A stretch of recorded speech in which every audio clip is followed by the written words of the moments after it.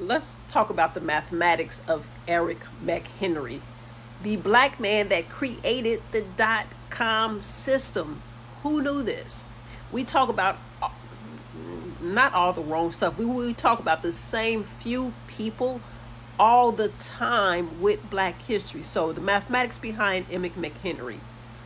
He had a company, Network Solutions he, along with some other black men, created the dot com that we use all the time in everything on the internet, right? And so what happened is couldn't get what he needed to get this thing going. Typically the case with black businesses, black entrepreneurs, black brains, right? And so he sold the company for 4.7 million to SAIC.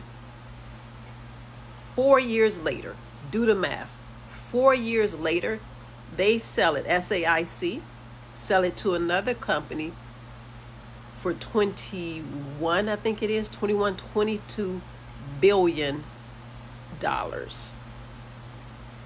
From a $4 million investment to $22 billion.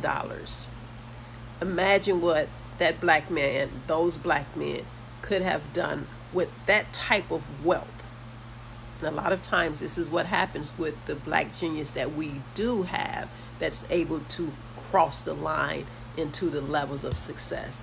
The dot com, this man should be ultra wealthy right now.